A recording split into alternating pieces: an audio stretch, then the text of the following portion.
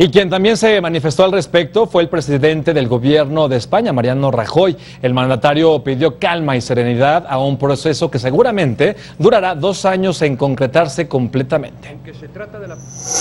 la primera consideración sobre esta decisión que quiero transmitir es serenidad y tranquilidad. Aunque se trata de la primera vez que un Estado miembro decide abandonar la Unión, los tratados prevén un procedimiento negociado y ordenado de salida.